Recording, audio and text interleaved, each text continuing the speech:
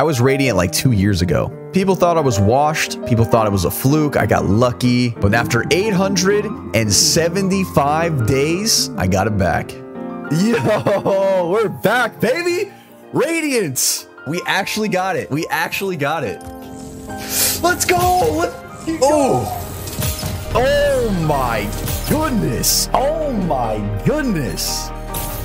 The king is back on his throne. Who can do it but me, man?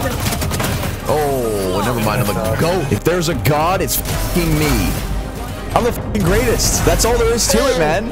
Look at us. Listen, everyone's always like, Jollz, Jollz, oh, you're washed. Oh, no. You're hard stuck. You're not good. You're just a coach. You're just a TikTok coach. What now, bitches? Ooh, look at that. Look at the triangle. And it's not simply about getting a video game rank back. It's all about proving that when you set your mind to something, anything is possible.